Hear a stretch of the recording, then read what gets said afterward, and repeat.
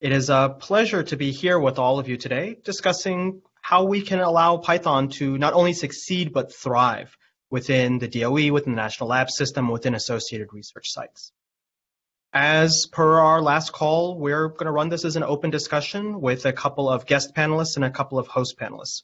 Let me very quickly run you through just a couple of details before we jump into it. First, this meeting will be recorded. And so if you're not able to attend this meeting for the entire duration of it, or if you have colleagues who you want to share some of this material with, let us know and we can distribute the recording to you.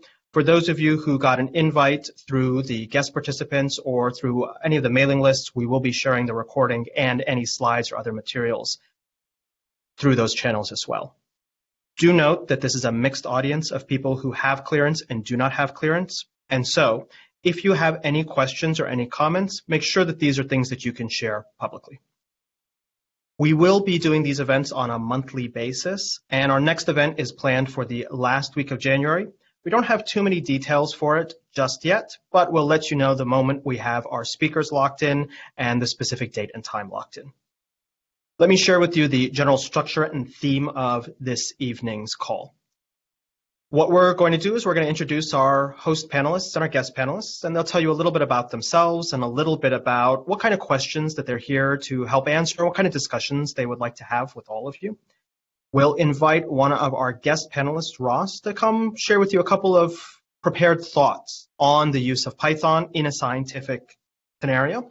And that will launch us into some open discussion and some very interesting back and forth with it. There is a Q&A widget that is available via BlueJeans where you can submit any questions you have while the presentation is going, and our guest and host panelists will be monitoring that to answer those questions directly. And if those questions are beyond what can be answered in a simple chat box, we'll bring that into our open discussion portion after Ross pro provides his uh, prepared remarks. Our theme for this event, or for tonight's call, is why Python? Trying to understand why the choice of Python for our scientific needs as scientific computing staff. And so with that said, why don't I introduce our panelists and then we'll jump into the prepared remarks and then open up the discussion. I'd like to first start by introducing our host panelists from Brookhaven, Tom and Dan. Then we'll speak to our host panelists from uh, APS, uh, Pete and Alec. And then uh, we'll introduce our guest panelists, Stefan and Ross from BIDS. But before I do that, I should introduce myself. I know many of you. I recognize many of your names. My name is James Powell. I don't work at a national lab, but I have interacted with many of you through my work providing training to the national labs. It's an absolute pleasure to be here. And like many of you, I have a vested professional interest in seeing Python thrive. If you'd like to ask any questions about how do I get scientific staff to appreciate technical sophistication, to increase their ability to deploy that technical sophistication, especially around scientific computing tools like NumPy or Pandas, I would love to answer for them for you, either in our open discussion or in the chat. But with that said, Dan, would you like to introduce yourself? Sure. Uh, Dan Allen in the Data Science and Systems Integration Program at NSLS2. I'd be happy to answer questions in the space of ground up efforts around the DOE to share tools across facilities and within facilities. Thanks. Tom, would you like to introduce yourself?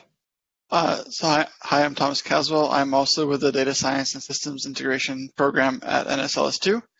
Um, in my in other hats, I'm also the uh, Matplotlib project lead and a core developer of H5Py and I'm happy to answer questions about how to interact with large-scale um, uh, user, pro- you know, community-driven projects, particularly in the context of working within a lab. Pete, would you like to introduce yourself? Hi, I'm Pete Jemian. I'm working with the Beamline Controls Group at the Advanced Photon Source. Uh, be really happy to answer any questions on the Bluesky implementation at the Advanced Photon Source also about beamline controls, the Nexus scientific data format, or even on small angle scattering. And Alec, would you like to introduce yourself?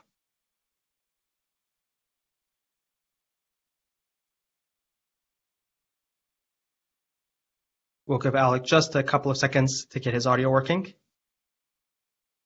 Alec, I think you may be muted. That's better. Fantastic. Sorry. Um, I'm Alec Sandy. I'm an associate uh, division director at the APS, um, kind of in the area of uh, beamline controls, uh, scientific software engineering, and data management, computational X-ray scattering, plus quite a few kind of mechanical engineering groups. I kind of got uh, parachuted into this because uh, Joe Sullivan is away. So um, I will, I'm sure, pass off any questions to Pete. Um, but if something comes my way, I'm happy to try and answer it. Now, before I introduce our guest panelists, I do want to respond to one very important question that came up in the Q&A widget. There's a question from one of our participants or from one of the attendees, why are there no women panelists? Unfortunately, two of our panelists, uh, namely Jean Schuler and Jane Harriman from Livermore, were not able to join us today. But as a long-term strategic goal, this group does want to help to encourage the, a good balance in all of the panelists. We are looking for additional host panelists, people who would like to come and join us and speak about how you work. We are very eager to ensure that there is diversity in that. Unfortunately, we were not able to make that work for tonight, but this is something that we do understand is a critical failure in many of the different scientific computing community, communities that we interact with. It's something that we're aware of and something that we are very eager to address. Now, with that said, let me introduce two of our guest panelists for the evening. Tonight, we are joined by Ross Barnowski and Stéfan van der Walt. Uh, Ross is a scientific software developer at the Berkeley Institute for Data Scientists supporting open, sci- open source scientific Python projects. He's active in both NumPy and NetworkX. He holds a PhD in nuclear engineering from UC Berkeley and has served as an assistant research scientist and lecturer in the Department of Nuclear Engineering, teaching at the graduate level. Stefan is a senior research data scientist at BIDS and the founder of Scikit Image and a core contributor to projects like NumPy and SciPy. He's also a fellow NumFocus board director. He serves on the steering committees of NumPy, SciPy, and the PSF's working group and spends much of his time coordinating the scientific Python ecosystem for which he's been involved for over 15 years. And so with that said, Stefan and Ross, would you like to briefly add any details that I've missed and also let people know what specific questions you're looking for? Ross? Uh, sure. Thanks for the very kind introduction, James. Um, I think you just about covered it. I, am currently at BIDS um, supporting open source software uh, on a team led by Stefan, and we have uh, three other members of that team, and um, it's it's a true joy. And in terms of questions to ask, um, I'm happy to field questions on anything. Uh, particularly, we've been doing a lot of work with pedagogical material for projects um, and coordinating between different uh, projects in the ecosystem, as well as anything about uh, NumPy or NetworkX that I have a little more insight than um, any other project. But um, please feel free to ask me anything. And Stefan? Hi, everyone. Uh, thanks for having me here today. Um, so my background is in electrical engineering and I later turned applied mathematician. Um, and a lot of the work uh, I started doing for the scientific Python ecosystem happened sort of as a distraction from my PhD, um, as many many of the other project uh, founders. Um, but yeah, I've been fortunate to um, to work on open source uh, scientific tools full time since uh, 2015 at BIDS. Um, and you know, initially, I, I, worked more on the on the projects themselves, and that's that's now changing more and more to coordinating be, between the projects. And Ross will also tell you a little bit about that effort. So yes, happy to talk about the, uh, the scientific Python ecosystem, its history, um, the coordination efforts we've got underway, and uh, how we're how we're trying to build um, a bigger, more inclusive uh, community. Fantastic. So with that said, Ross, would you like to share some of your prepared remarks on, the, on Python as a language for effective scientific computing? Okay, everyone can see this all right? Um, I don't see myself or anything, so if there are any problems, please speak up and let me know. Um, but that said, um, thanks again for the kind introductions. Uh, and this is the presentation that I prepared um, in response to the prompt, why Python for scientific computing? Um, so that's sort of the high level question that I'll be answering. Um, and I'll give you my personal take as a, you know, over the last decade as a, as a scientific researcher and, and user of scientific Python, Python projects, um, and also a little bit of perspective, my perspective on what the outlook is uh, looking ahead. So before I do that, I'll just introduce myself a little bit more. Um, I actually started my research career, uh, such as it is, in the National Lab system. My very first experience was when I was summer after my sophomore year in college. I participated in a SULI internship at uh, Argonne National Lab in the uh, nuclear in one of the nuclear um, instrumentation groups. Um, after that, I went to Livermore in the summer of 2009, working in the nuclear data group. Um, and that was actually the first time that I ever used Python. At that point, not even scientific Python, just Python as a uh, editing text files and parsing outputs and things like that. Um, but I had a, a, truly fantastic mentor there, Marie Anne Descalle, who uh, sort of convinced me that I wanted to go to grad school afterwards. And so that's what I did when I, after I graduated. I went back to uh, UC Berkeley in the nuclear engineering department. Um, so spent six years there in grad school and then became a postdoc and then uh, a research scientist and lecturer. And that whole time, um, you know, I was affiliated both with the nuclear engineering department and also the applied nuclear physics group at LBL.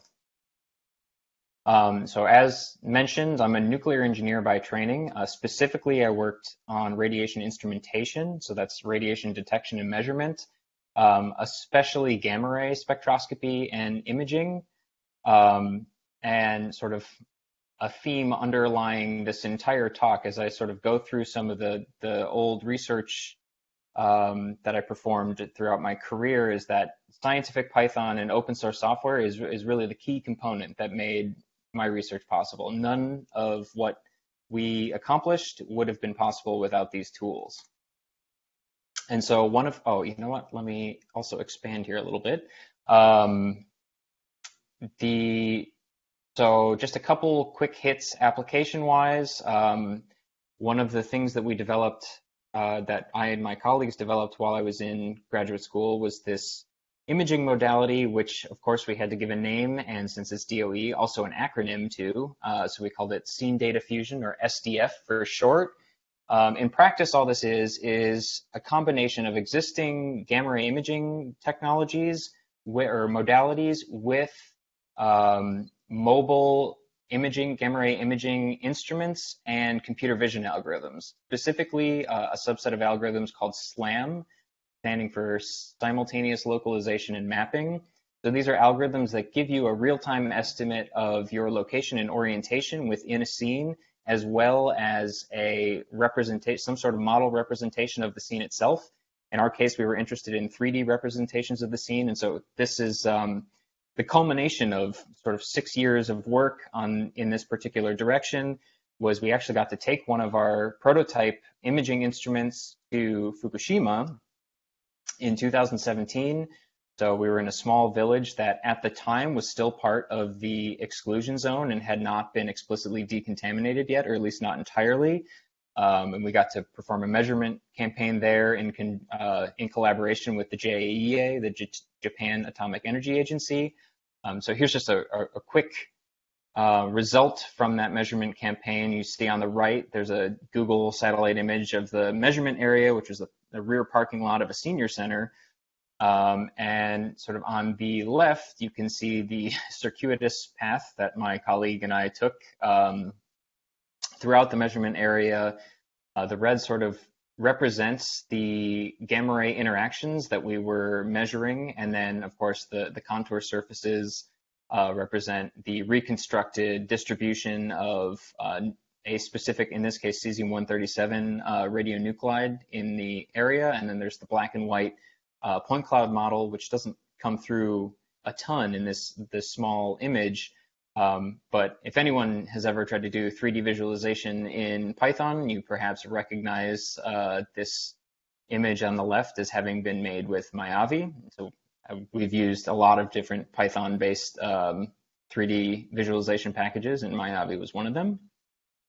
And um, of course, uh, another application was sort of taking this same imaging modality and instead of moving around the scene, we could do take a more traditional approach for some Im imaging applications where you have a very constrained imaging space, such as uh, small animal imaging for drug discovery and evaluation.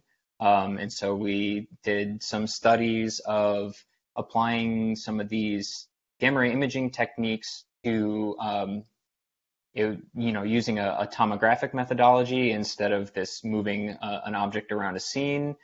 Course, you see on the right the matplotlib um, slices through the three different dimensions of a reconstructed source here. In this case, a, a line source, also cesium-137. Um, and that was sort of a, a, pet project of mine that I was really excited by um, because of the potential medical applications. So those are a couple of things that I worked on.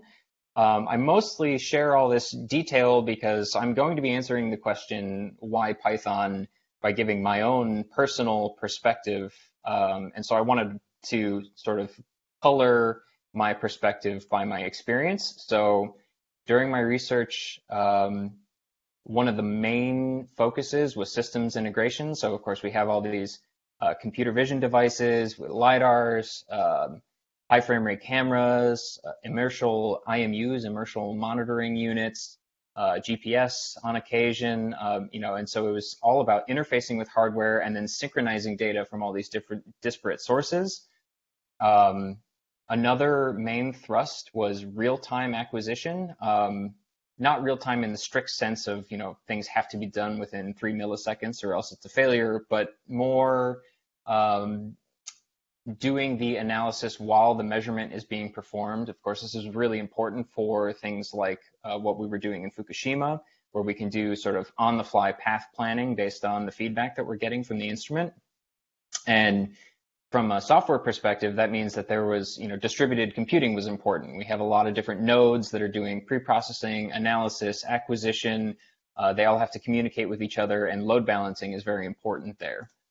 Um, the final point that I wanted to just make is uh, a lot, you know, typically what I was doing um, was what you would consider, I don't medium scale computing. So the, the data sets that we would collect are on the order of gigabytes. We're not talking about terabytes or petabytes.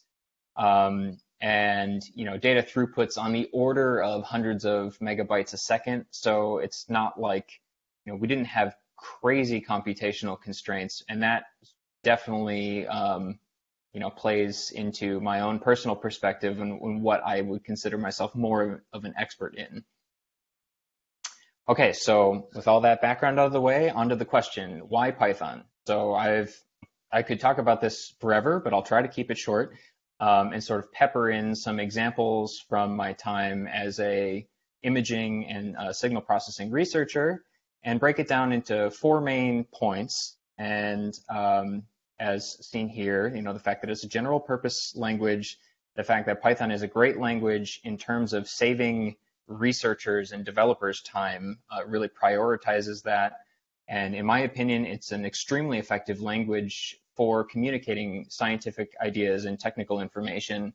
And then, of course, the uh, community-based model that scientific Python has sort of organically grown um, from, and I think that's an extremely important component to why Python is is uh, an answer for scientific computing going forward.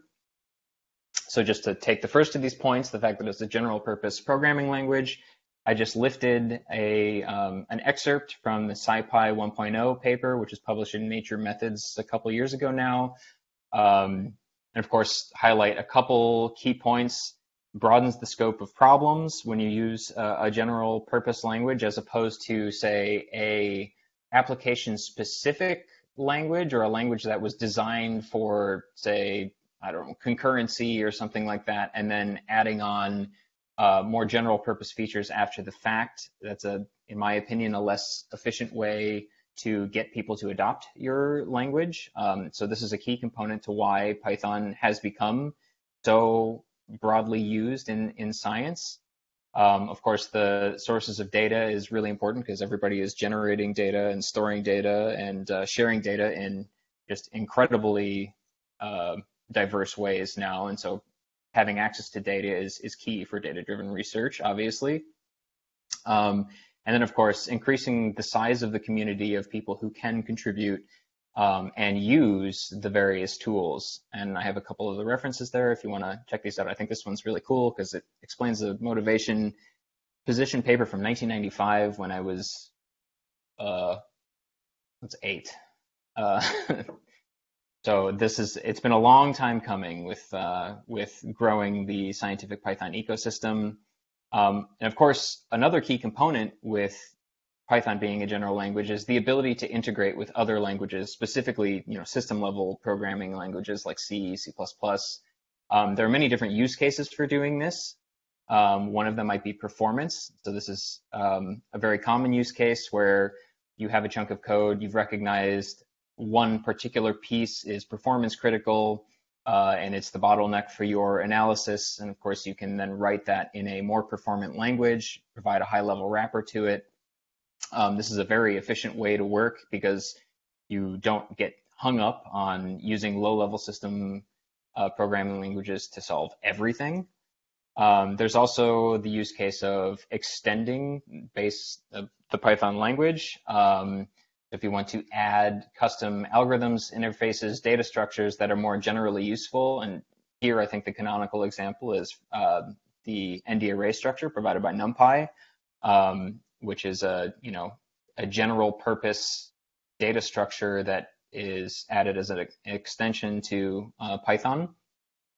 And then an application that is always really important, but I think especially important in the national lab arena is uh, wrapping existing code. And there are two use cases that really come to mind that I personally experienced a lot in uh, grad school and doing research is where you have uh, legacy code that was perhaps written by someone who retired 10 years ago and you ask your advisor like hey i'm interested in this and they say oh yeah so and so did this uh, just use that and then of course it's it's very difficult to read. It's in a language you don't know, um, but you want the results that that code produces. And so the ability to wrap the, to wrap it and be able to use the code and then attack it incrementally in terms of understanding, improving, um, that removes, you know, the biggest bottleneck in terms of computing research in in my experience. Um, and then another application or another use case is when you are using commercial, for example, commercial hardware or other um, software from vendors that have been purchased. Um, and I'll go into a little bit of detail right there. I just wanted to mention, you know, that this extensibility is a fundamental feature of Python. Um, it's a key, you know, the flexibility is extremely important into making Python what it is today in terms of uh, scientific computing applications. And there are many, many, many um, tools in addition to the Python C API, for example, that allow you to extend the language um, for these various different use cases. So I wanted to touch a little bit uh, personal experience on the wrapping um, aspect. So we in my research, we had these, let me actually just out so we can see this without scrolling. Um, we had these excellent digitizers that we purchased from a company in Germany that did uh, multi-channel multi-channel digitization for our radiation spectroscopy signals. Unfortunately, the software that came to run those digitizers, um, it was written in C, which was fine, but it was baked into this Windows specific GUI tool, toolkit uh, that only ran on Windows XP and of course all these problems. And so that was a, a major constraint. Um, and the way that we get around that is by, so we had an excellent researcher, Cameron Bates, who um, hopefully maybe he's in the audience, but I think he's currently at LANL. Um, he was in graduate school with me and he did the lion's share of work of, you know, pulling out the acquisition specific code uh, and wrapping it up. And also want to credit him with convincing me of the importance of the Python C API, and also giving me my trial by fire in that particular um, category. But uh, as a result of this, we can do then it, it just removes so many barriers. So now we have this complicated C uh, system programming language that that boils down into. Let me zoom out again. Um, you know, just very simple. Of course, we can now just call these functions from Python. So communicating with and acquiring data from the data acquisition system goes from thousands and thousands of uh, baked in Windows GUI code into just a couple lines. Um, another main, so now we can use this in, in a much more flexible way. If you want to just do something quickly, um, you write five lines of code in order to interface with the hardware. You can write your own GUIs. Um, we had web UIs so that we could run, you know, start acquisition while we weren't actually physically in the lab. Um, and another major point is that we instantly gained a, a, huge measure of platform independence from this. So now we could work on Linux, which is where most of the other hardware that we used, um, that's the software was was Linux specific, and that was critically important for us to make progress. Um, so the second main point that I want to talk about and why I think Python is such a great language for scientific research and computing is that uh, it really optim it prioritizes developer time. Um, we have some languages, of course, that uh, are compiled and they might you know build slowly but then run extremely fast. Um, here is Guido's take on it from I think 1998 where he said Python is five to 10 times faster than using C uh, or C++. I would argue that that you know, that's a perspective from someone who's obviously a very good C programmer. Um, for others who might not know the language as well, you know, add another factor of 5, 10, 50, 100 uh, to that characterization. But uh, the point stands that, you know, Python it's it's a very quick language for you to get your idea to express your ideas in a way that is um, that can be evaluated right away. Um, and something that I think the scientific Python ecosystem really brings to the table through NumPy arrays and all the array extensions and, and many other data structures, sparse data structures, trees, graphs, etc., um, is that these are really nice interfaces that provide low-level tools but that have very readable and expressive uh, syntax. So it makes performant code that is very easy to both write and read. Um, and also, finally, it enables uh, an incremental approach to data analysis. So rather than having to figure out, you know, data allocation strategies and all these low-level things in order just to get a simple program to run, you can start with, you know, the smallest subset of data begin testing and evaluating your ideas and then scaling up incrementally as you run into bottlenecks in terms of performance or something like that, then you can address those problems as they crop up rather than having to solve everything all at once up front. Um, and so just to give an example of that, this is something, an example from my time as a researcher. In fact, I hope that there's no one so I, I, taught a graduate class in uh, gamma ray spectroscopy and imaging. I hope that none of the students for this year's edition are in the audience because I'm giving away the home the answer to the first uh, lab assignment. But here is some data that is collected from um, the using that digitization system I was previously talking about. So this is what a, a digitized uh, preamplifier output signal looks like from a high purity germanium detector. Uh, all of the interesting information lives in this rise time here um, in the uh, single, the amplitude of this, this region sort of encodes the total energy deposited, which is what we care about for spectroscopy. Um, there's also this, you know, exponential decay, which is a is a characteristic of the RC time constant of the preamplifier. Um, and so one of the things that we want to do, I mean, the signal is, is very nice, but of course it's very noisy. If we look at the top and we're trying to do spectroscopy here, it's subject to a lot of noise. So we would like to apply some sort of signal processing to um, get the noise down and also sort of deconvolve some of these long tail effects that we get from uh, the preamplifier response. And so there's the canonical way of doing this in the digital domain is actually a, a time a time analysis, time series analysis based approach um, for generating trapezoidal shaped signals. And I don't want to, like all of the examples here, we could talk forever about them, and I'm happy to.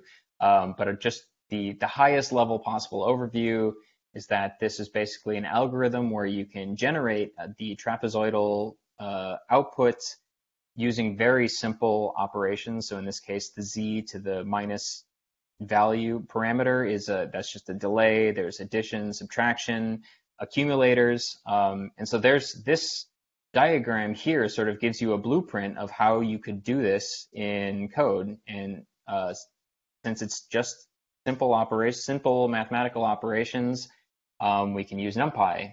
And so that's choosing some parameters for these values, the, the K, the M, and the big M. Um, without going into detail, these are just values that I happen to know are uh, work relatively well.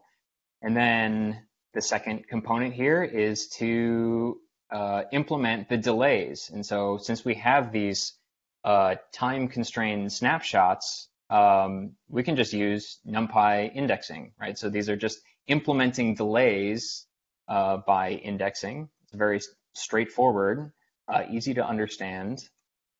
Uh, shift enter, and then applying the actual algorithm itself. You know, if we go back and see, you know, it's just delay, sum with the undelayed signal, apply another delay, sum with the uh, signal. If we look at the implementation, right, this this translates extremely straightforwardly into an algorithm for applying the shaper. Um, so if we do that, there's a couple extra steps. You know, we did some shifting, so we're going to pad to get back to uh, align our shape signal with the original input signal. Uh, there's also some gain correction that we get from the trapezoidal filter, and then we can look at our results. And look at that. Um, so that was a very simple analysis. We ran it on a signal, a single signal in order to sort of evaluate that we, you know, at least qualitatively, that the filter output is looking as we expect. Um, so now that we have some confidence that this filter works generally how we want it to, we then move on to scaling it up. Of course, for spectroscopy, we don't care about a single interaction. We care about uh, accumulating many interactions and looking at the spectrum, the energy spectrum from that uh, set of interactions.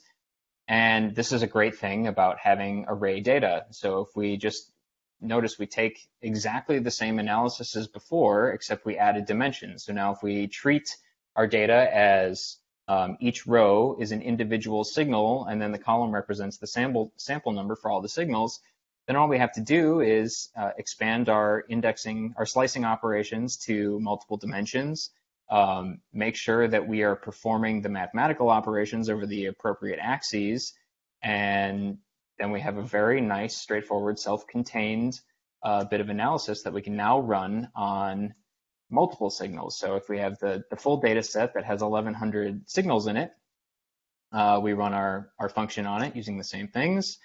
And now with extremely minimal changes to the code, just handling multiple dimensions, we get outputs for all of these signals. And notice that it's extremely performant.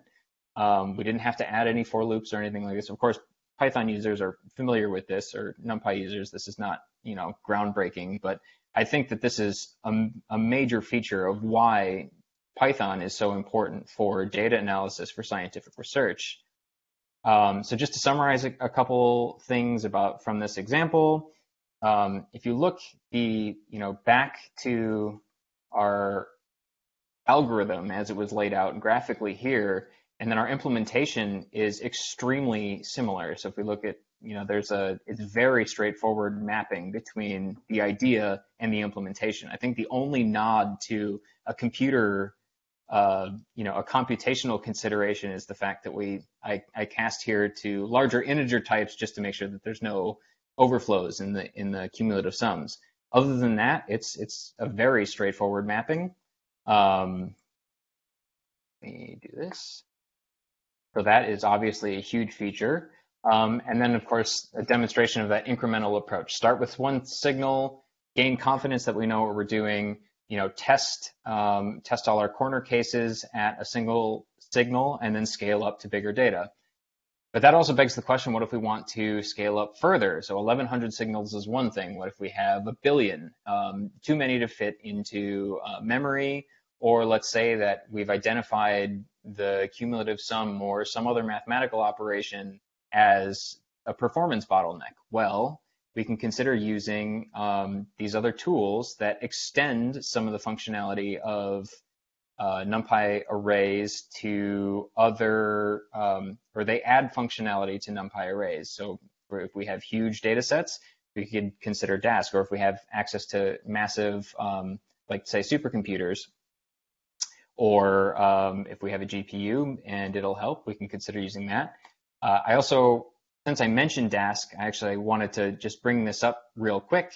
Um, we can just using a feature from Dask, I, I, ripped this right out of Dask's documentation and just applied it to the, uh, the preamp signals that we used in the previous example. Um, if we, oh, that's a little, so the repr has this like fancy um, view, but if we, you know, try to take advantage of Dask's uh, chunking mechanism, and then this, this part I think is really cool. If you notice, we can actually apply the analysis that we wrote, assuming that the input was NumPy arrays on Dask arrays. We have a, a, a Dask array input, and we're going to run a NumPy specific or what seemingly NumPy specific um, analysis on it, and you'll notice that it works, and the output is also a Dask array. Um, so in terms of interoperability of these packages that provide additional features on top of existing uh, array functionality from NumPy, I, this is extremely powerful. Um, let me unzoom here.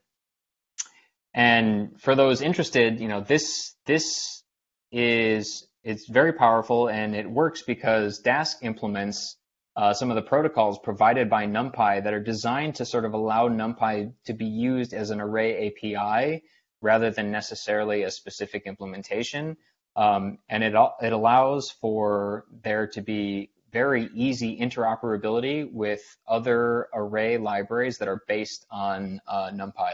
And this is extremely powerful. If you're interested in reading more, we, there's uh, NumPy enhancement proposals, NEPs, uh, that sort of describe these various different protocols, and I would definitely recommend checking those out.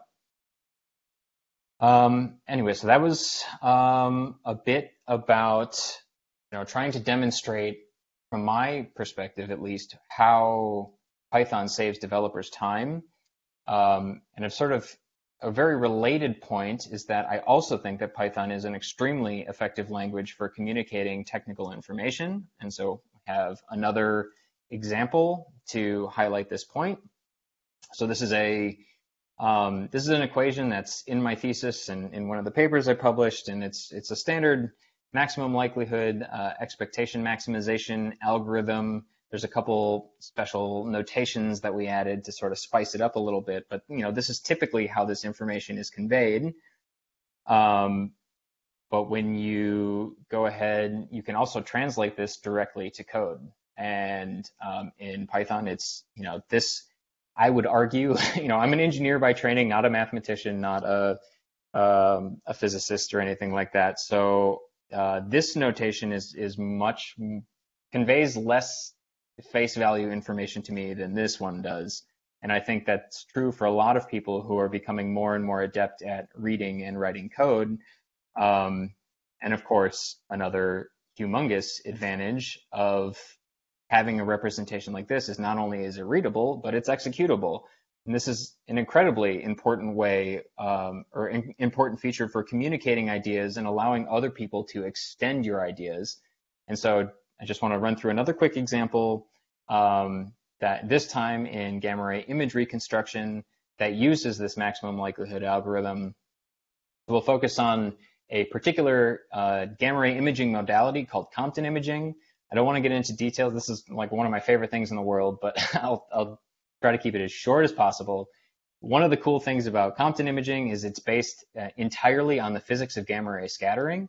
Um, and some of the consequences of this particular uh, quirk or this particular constraint is that um, you instead of getting you know say a ray that points in the direction of the the incident gamma ray, um, we're only able to constrain the potential incident direction of a gamma ray to a cone. So we can only con constrain one of the possible uh, angles that define the ray, uh, which means we get a cone in the imaging space, which is kind of cool. Um, and another very cool thing about Compton imaging is that you can, uh, there is no lensing, there's no collimation. Um, it's based entirely on kinematics. So that means that if you design uh, your camera in a specific way, you can have, you're sensitive to photons coming from all directions. So it's basically uh, a limitless field of view um, gamma ray imaging modality. And again, so we just have um, a simulated data set. So if, if, I go back to the maximum likelihood, these various things, we have, you know, this alpha, which is the system matrix, which basically the row dimension is, uh, and I, I, I, didn't mention, but this is list mode MLEM. So list mode means that each individual um, row in our system matrix corresponds to a single uh, photon interaction.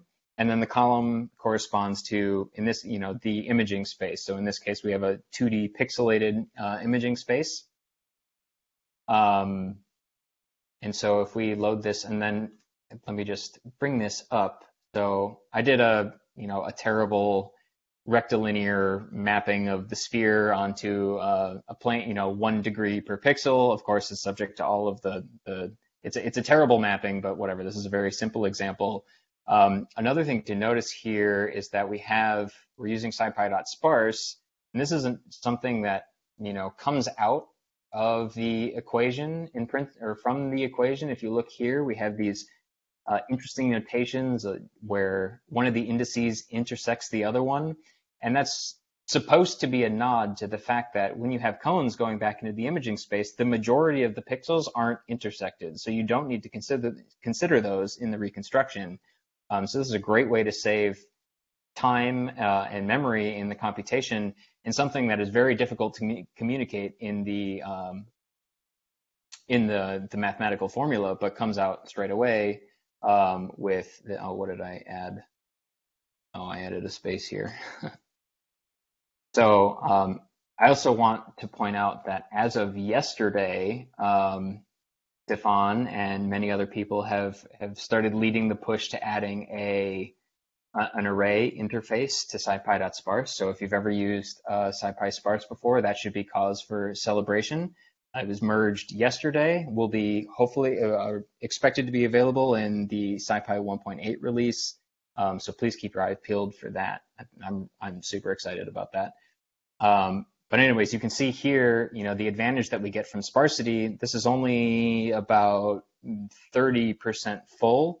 Uh, this becomes much more clear if we just take a look at what this actually looks like. Um, if we look at the system matrix here, let me zoom out so we get a better centered image. Um, so you can you can see the cones and see the cones interacting with the, each other in the image space, and of course it's it's pretty obvious where that we're looking at a point source directly ahead. It's a very simple example, um, but that's sort of what the the uh, imaging basis, this this cone basis looks like. And then of course, so we have our system matrix. Let's try our technique. We have a we have a an executable implementation of the um, the iterative maximum likelihood technique. So we can just go ahead and we'll start by using the back projection of all of the cones as our best estimate for what the initial image looks like. Um, we're ignoring sensitivity, which is the S in this case, um, because it's a very simple example, and just try 10, 10 iterations of maximum likelihood. And how did we do? Let's do this. Right, so that's an example of, you know, extremely straightforward equation uh, communicates, in my opinion, much more information than the original, you know, published uh, notation did. And now in, you know, 20 lines of code or less, you can actually try it out on real data. And I think that is the true power in terms of communicating ideas and allowing others to build on top of your own ideas. And I have to say that I struggled understanding this concept for much, much, you know, this this is very quick, but this took forever for me to understand without having this implementation available. And then afterwards, I think it was much easier to com- communicate these ideas to other graduate students, other researchers, even advisors. Um, so some takeaways from this example, of course, uh, again, it's an excellent language for communicating ideas, mostly because of the tools of the scientific Python ecosystem that allow you to do this. Um, there aren't so many language specific things or sort of, you know, what I alluded to in the signal processing example. And the fact that it's executable to me is, is, or this executable pseudocode paradigm where it's so readable, but also um, operates efficiently is incredibly important. And readability is also important, not only for extensibility, so others being able to build upon your work, but also reproducibility, which is obviously very important for scientific research. And that brings us to the final point um, that I want to talk about, which is the community and the community-based development model for scientific Python, which to me is really the secret sauce, the, the thing that brings it all together, that makes Python um, that basically made scientific Python what it is today, and in my opinion, is uh, a great way of keeping it viable in the future.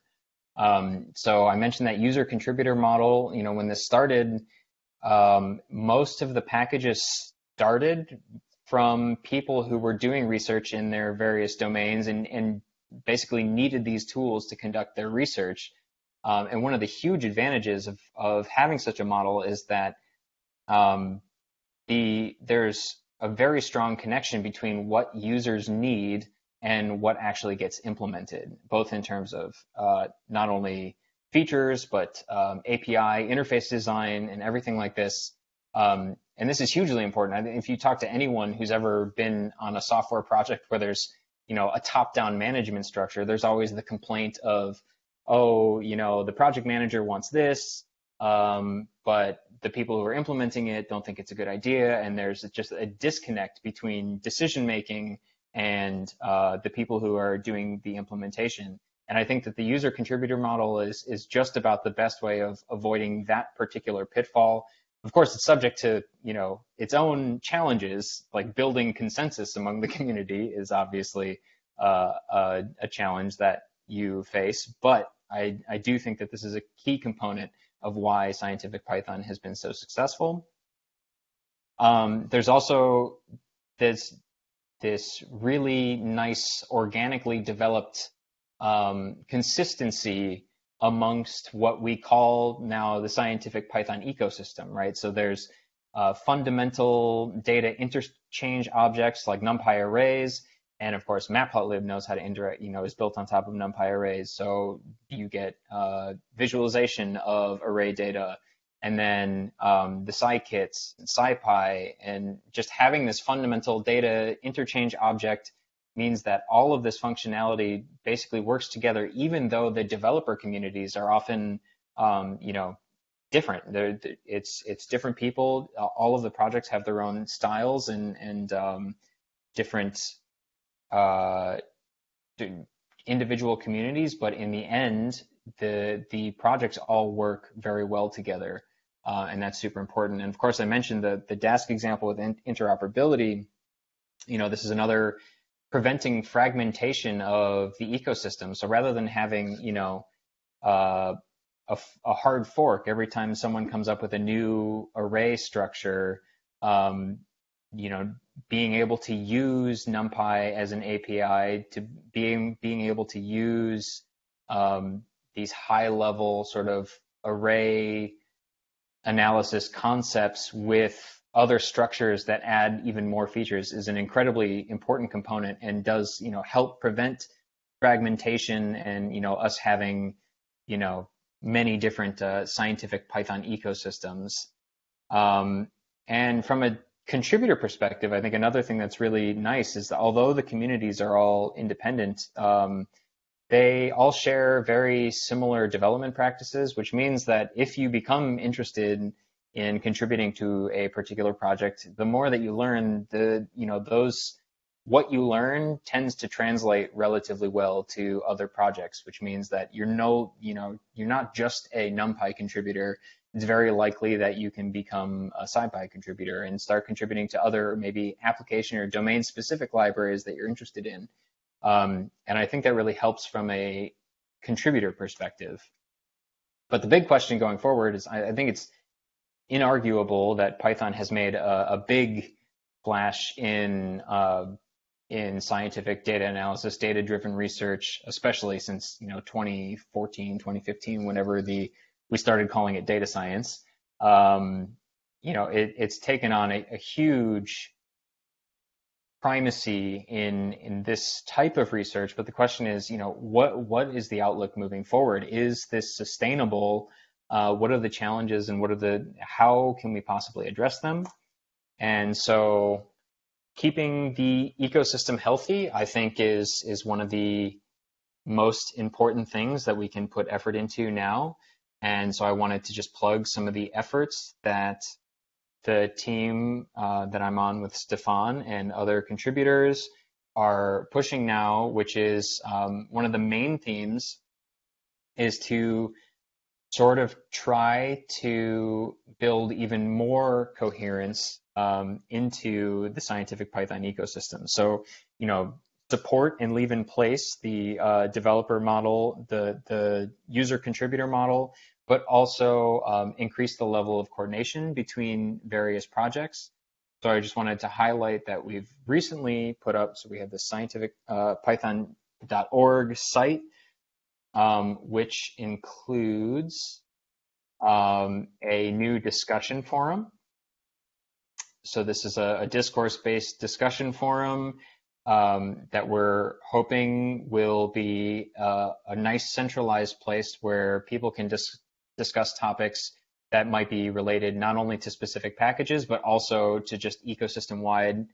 Um, there's a really interesting discussion that was added not too long ago about um, how we can, you know, expand the support for other array objects into other libraries.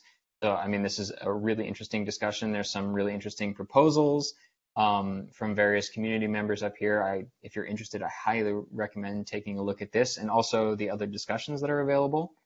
Um, so this is a big, a key component is having a platform where decision making that can affect multiple projects can be discussed publicly in the open um, and get, you know, gather as many perspectives as, as possible. Um, there's also a more formal mechanism that we are introducing um, to formalize coordination between the projects. So there's this, this mechanism called the Scientific Python Ecosystem Coordination Documents, or SPECS for short. Um, and this is something that where, for example, um, in Python 3.7, with the uh, module getAttr and, and dir, dunders, that opens up an avenue for an interesting approach to lazy loading uh, modules and, and subpackages within Python projects. And so there's a question of exploring that particular direction and also um, doing so in a way that is consistent among different projects. So, um, you know, you don't have one unique system for scikit-image and another completely different unique system for NetworkX. Um, um, for example. And so that's that's sort of where this um, these discussions, when they turn into something that might be a more formalized procedure, uh, the spec mechanism is designed to capture that and communicate that information to the projects in the ecosystem.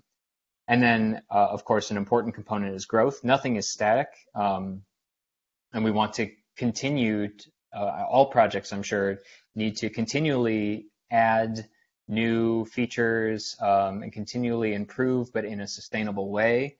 And I think this is somewhere where the national labs, you know, can contribute um, massively. And something that I'm personally very interested in is to sort of explore ways to get tech, you know, tech transfer, which is a big word in the national labs. I remember.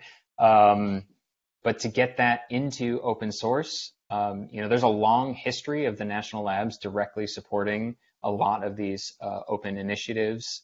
Um, you know, just to highlight a few because I'm familiar with them. Of course, NumPy came. Uh, the predecessor was Numeric, which was largely developed and influenced at uh, Livermore uh, in the 90s and early 2000s. Uh, NetworkX, of course, started at Los Alamos. Um, I, I believe Dan was the, or, or sorry, Aric Hagberg was the speaker last week, um, and sort of gave the history of NetworkX and how it started and how it became sort of a a, a wider project. Um, and of course, this isn't limited only to Python projects. There are many, many other projects. Uh, another one I just wanted to call out briefly is the LFortran project, so an interactive uh, Fortran, which is is really cool. Um, and it doesn't have to be all independent projects, right? So there are many other examples of uh, research that has been done in the labs that is shared, but also incorporated within other projects. And I chose the SuperLU example just because I was I ran in it into it the other day when I was looking at um, some NetworkX uh, sparse linear algebra stuff. So there is the SuperLU package from NERSC developed by uh, researchers, I think primarily, I, am not sure, but primarily at uh, LBL. And if we look, you know, there are, they have their code on GitHub and it's all available. Um, but also it is available in SciPy sparse linalg. Um, and I think the point that I want to really drive home here is that and it's very hand wavy and anecdotal, but incorporating this work into a package that has so much that has the level of visibility and um, adoption of SciPy is something that really benefits both the users of these packages and the original researchers. So the users, it's obvious they have access to this, you know, excellent sparse uh, factorization technique, but also in terms of impact, um, if we again very hand wavy and you know this is not how you typically, you know, this is not an accurate measure of impact by any means. But if you look at the relative, you know, 60 forks um, and 14 watchers versus, you know, SciPy, which you just on the front page, it's almost half a million um, dependents.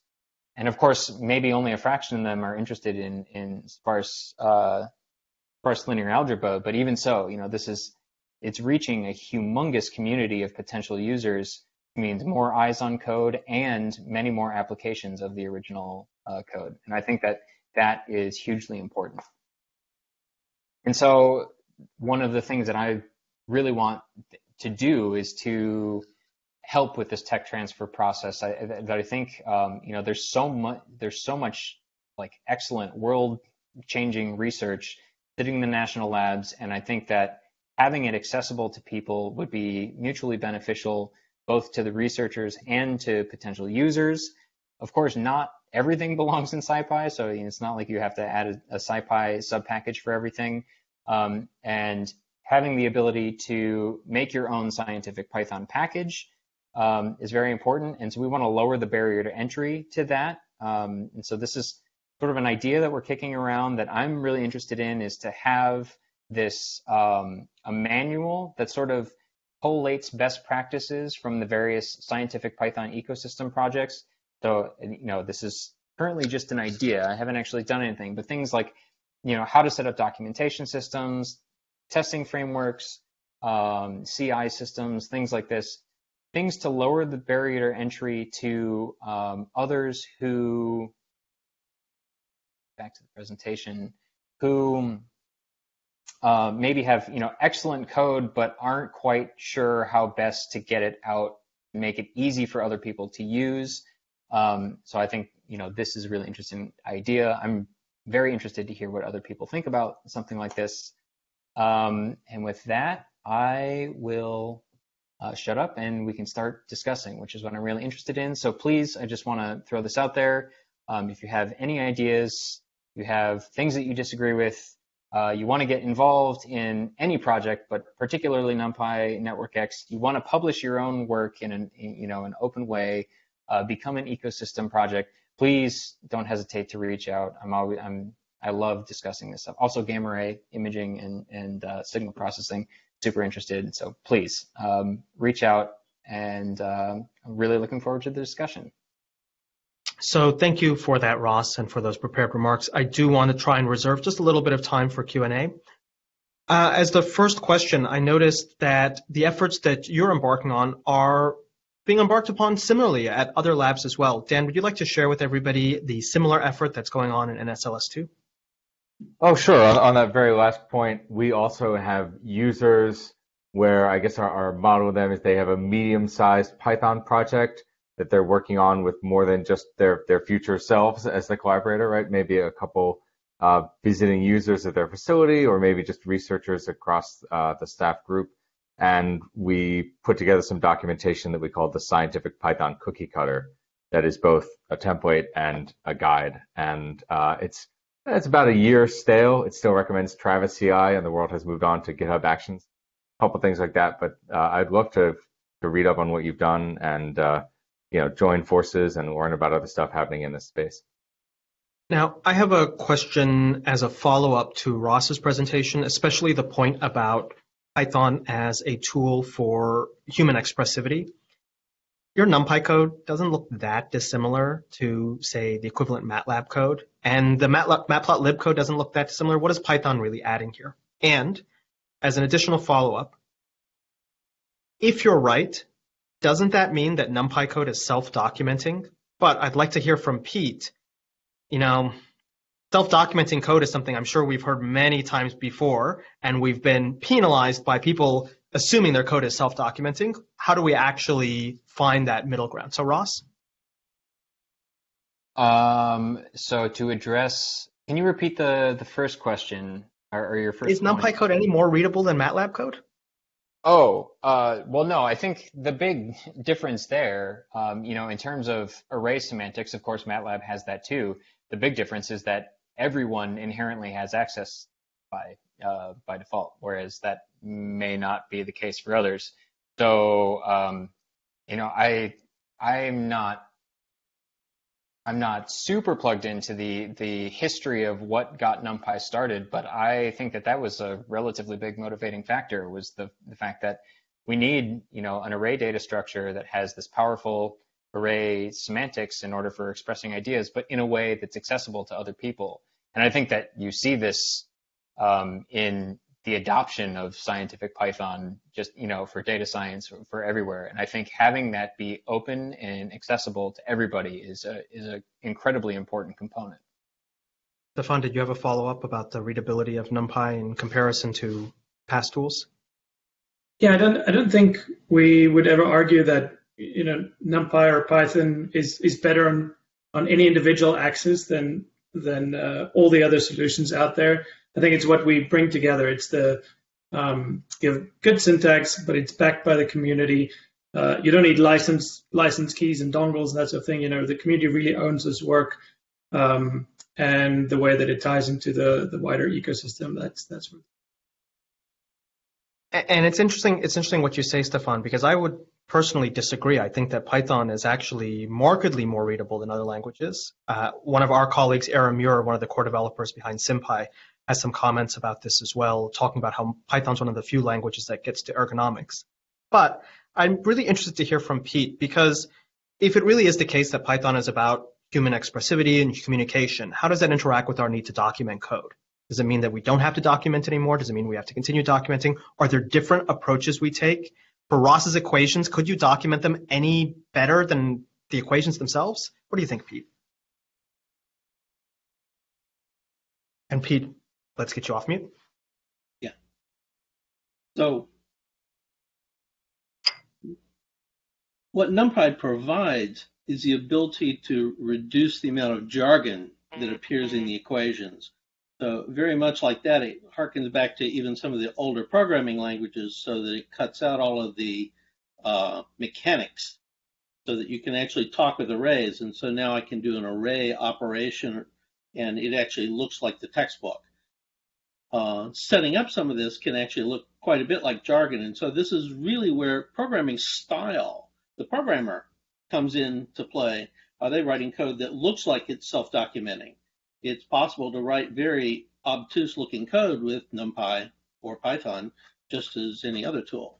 So I think that probably is one of the keys in uh, Python does help that quite a bit. Tom, did you have something to add? I'll, say that like uh, even if you get the NumPy code to look very much like what the equations you're trying to implement are, Like we don't publish research papers in science or math with just like equations and nothing else. There's there's prose around it to explain what the shorthand of the equations means. And so I think you, you can never get away from that, even in, in the code. And I'm curious, Tom, that you've thrown your your two cents in. What's the longest block of Matlab, Matplotlib user code that you can read without saying, okay, I need to go through this line by line? Because for me, after 50 lines of plotting, setup, and configuration and whatnot, I'm just like, I'm just going to rewrite this from scratch. And, and how does that affect this story of Python being readable?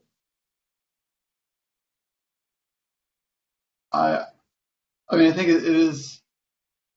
I'm going to uh, repeat what Pete said. I think it comes down to how it's written because you can you can have 20 lines that are dense and, and very difficult to read and understand, or 200 lines that are that are well organized and that you can read through and see a story in, and work and work with it.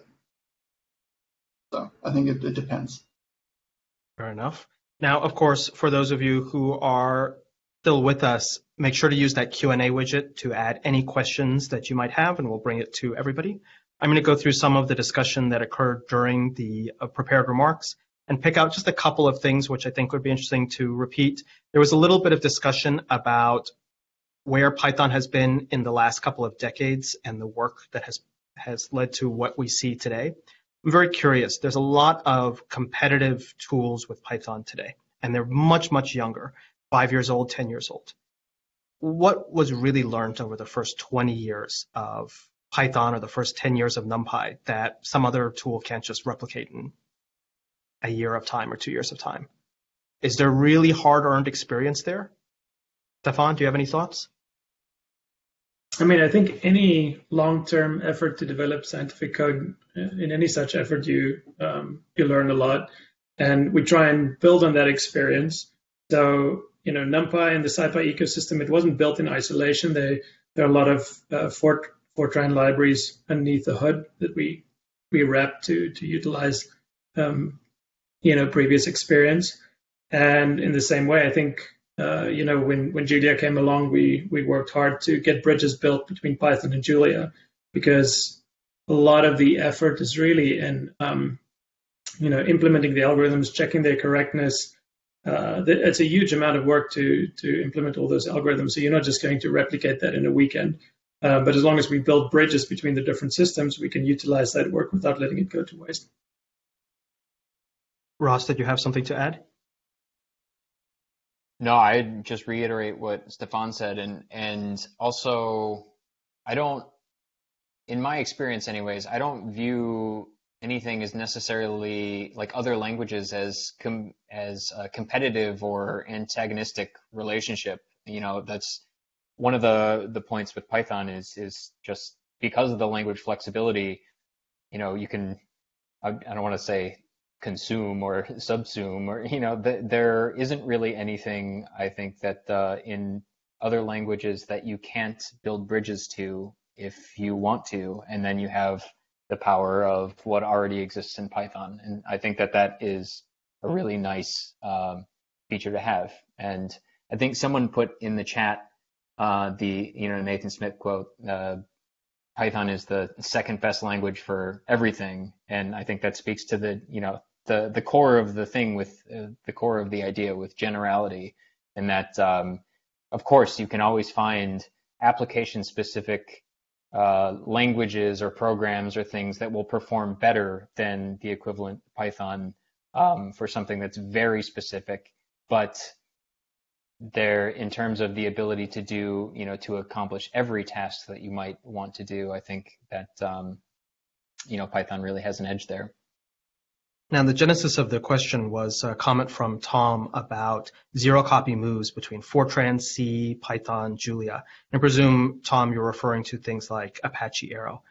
This is, these are technologies that you're investing in for work like Bluesky. How is that working out?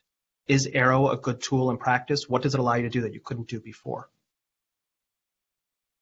So I think uh, Dan would like to jump in. He, he, Dan's been leading the effort on that. I think the where that's going for is that strided arrays are, you know, to bluntly like why we have nice things. right? That you can that you can do all this cross communication. Like they're, they're kind of like the the most basic data structure for scientific data. But you lose things like I now have two arrays. I know one is my you know one is my is channel A and one is channel B, and there's some relation between those two that is important for your science. That when they're just two two NumPy arrays in your namespace gets lost, and when you go up a level of abstraction to something like an Xarray or a pandas or an awkward where you have names and then the data structure enforces these two are the same size and because of that you know more about the data. That's i think the ability to interchange that level of data structure between languages without having to do it as a ad hoc every time is going to be the next big revolution we see in scientific computing and i think arrow is probably the the leader of that right now in terms of uh, concrete implementations, but I'm not. I, I think it's to be seen if it, it, holds up for a decade. There, you know, there could be, you know, a second generation. And, and yeah, Dan, I think, Tom, oh, I, I, think I can build on that. I think that seems uh, like a fair assessment. And uh, Arrow is very focused on on on tabular data, generally columns of scalar numbers, but Awkward has shown awkward array out of the high energy physics community has shown that you can attach the n Dan, dimensional. can I interrupt you? Can you introduce yep. awkward array to everybody? Yeah, awkward array is a project for representing ragged, jagged arrays that might not be uh, shaped like blocks anymore, and so you can have these uh, like nested uh, structures, almost like a nested dictionary in Python with arrays in it.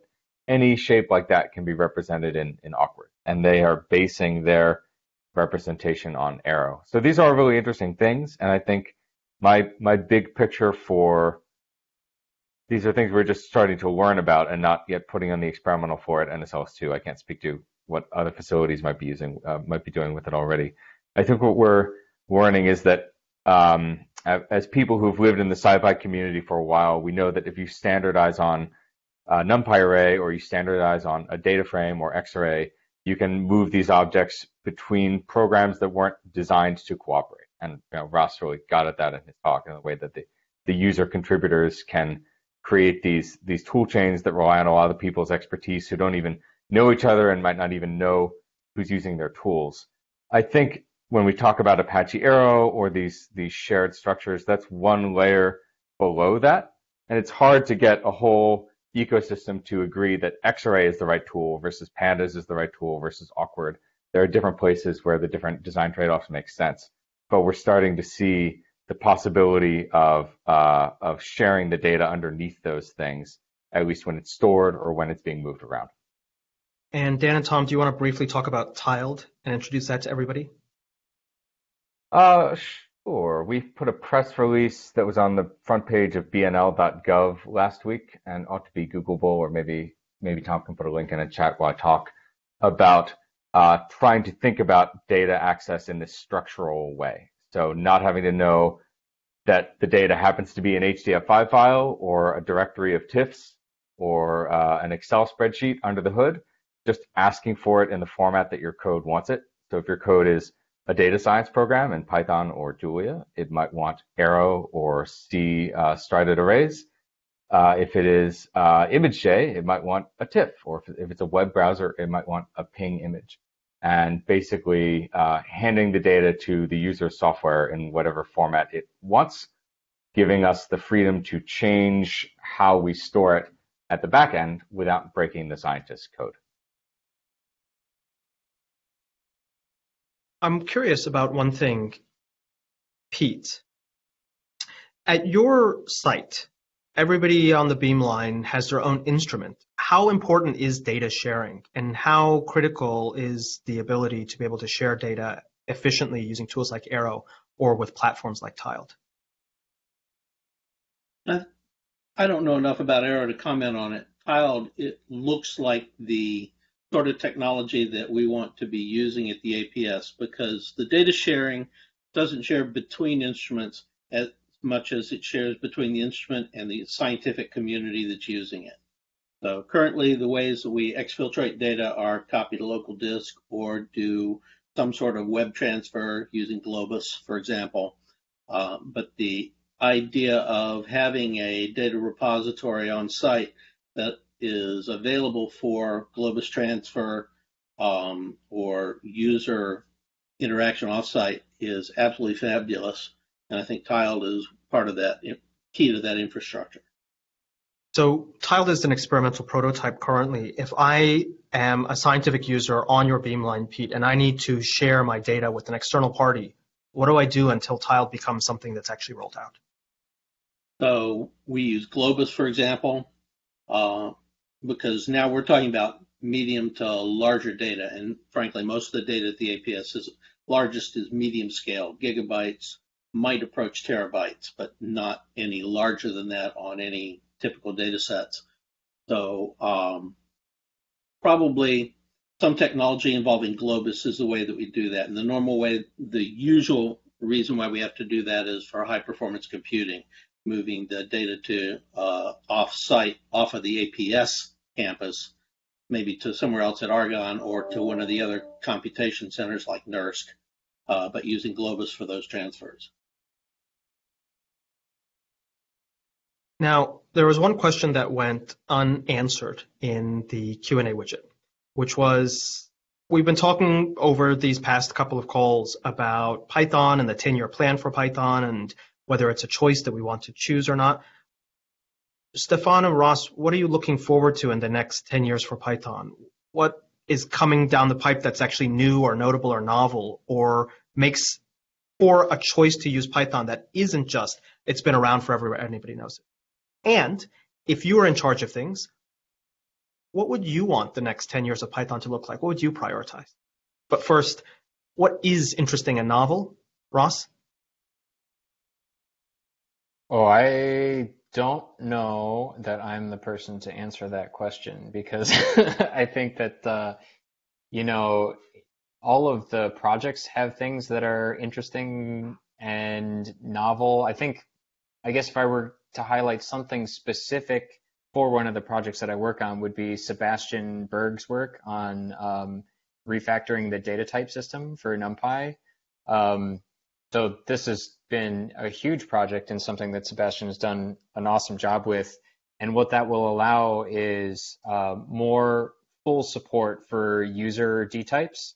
Um, one of the canonical examples is uh, unit D types. That's something that you know is a, a pretty common feature of Quest. A lot of different external libraries implement that, like AstroPy provides unit D types. There's like IUnit and Pint and some other ones.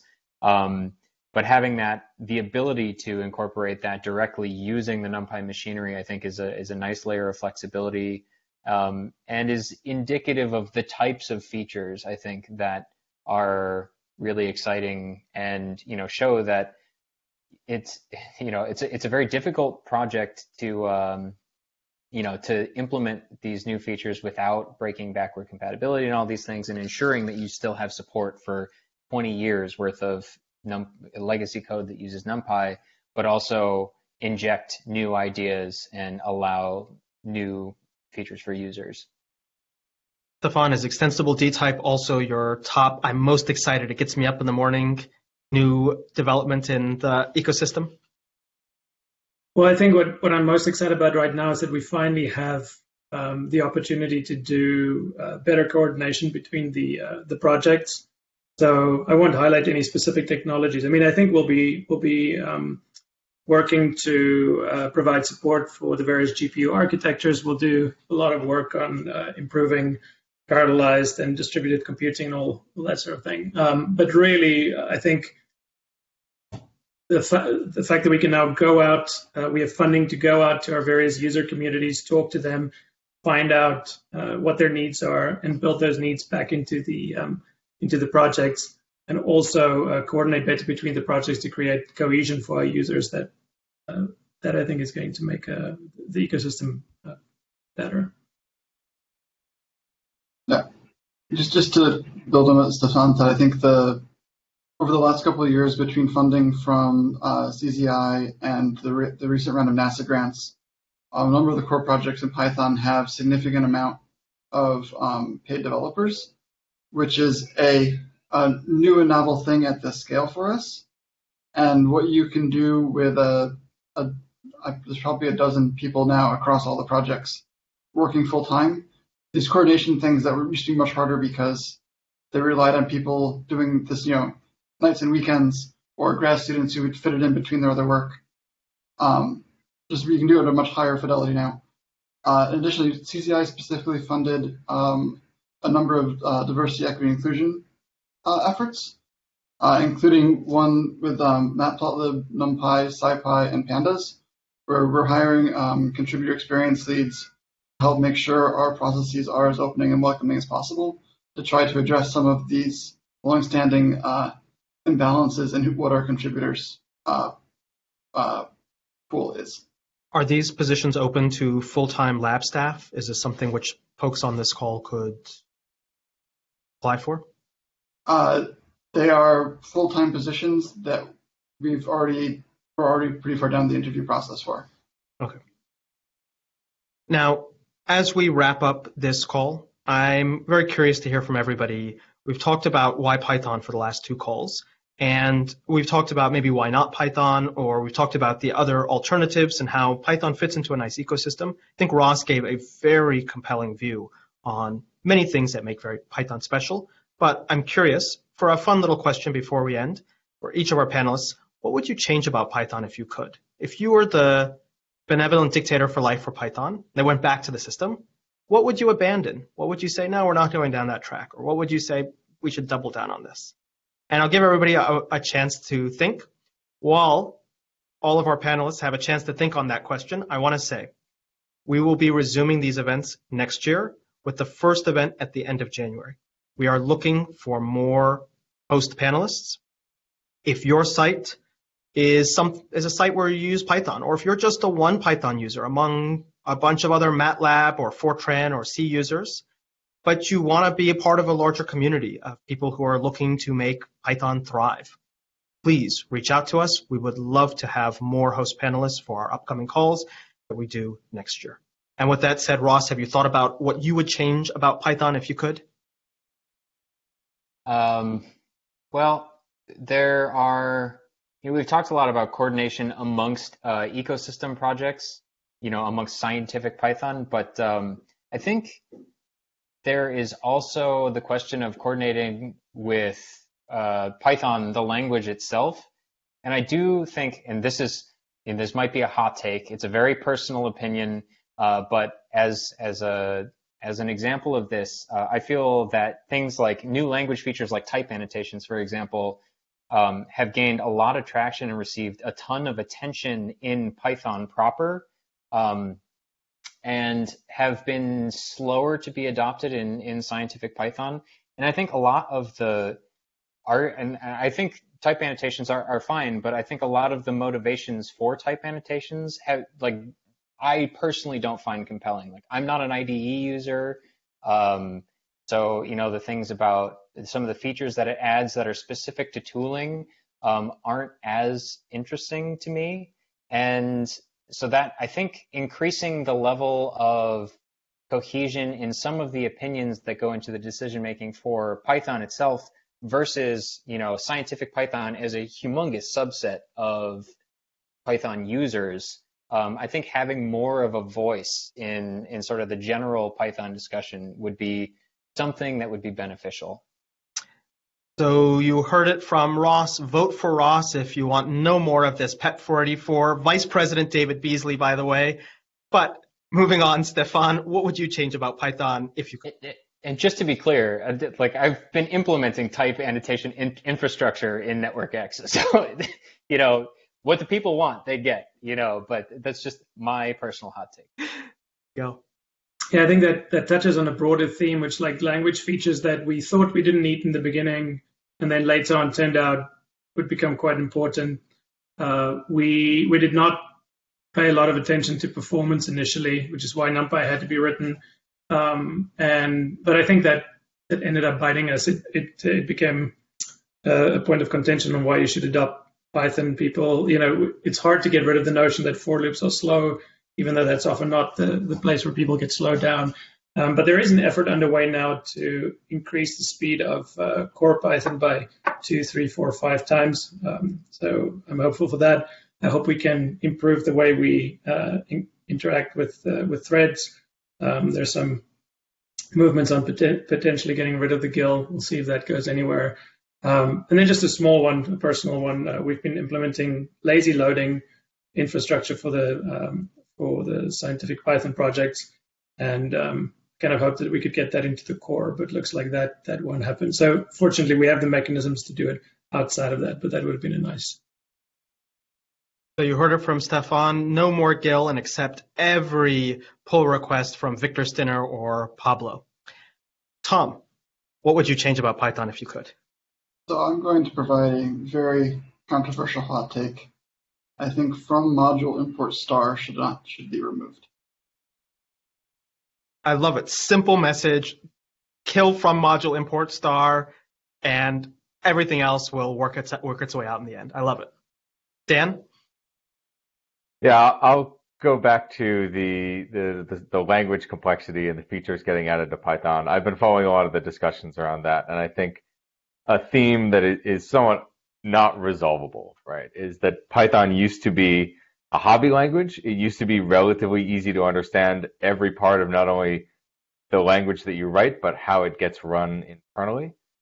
And it used to be and might still be a pretty good teaching language, but as it adds more and more complexity and features, it gets away from being something that you can easily understand any given Python code that might land in front of you. And it's hard to do those things while also growing the features that you need if you want to see Python at the core of large scientific code bases. The thing you need doing the little data analysis script in, the, in your notebook versus building an HTTP data access service that scales well and is worked on by a dozen people are kind of different things. And Python is experiencing fitting all of that into one language and seeing if we can still hang. And and we'll see. I, am optimistic, but it's a tricky balance that's never going to make everyone happy.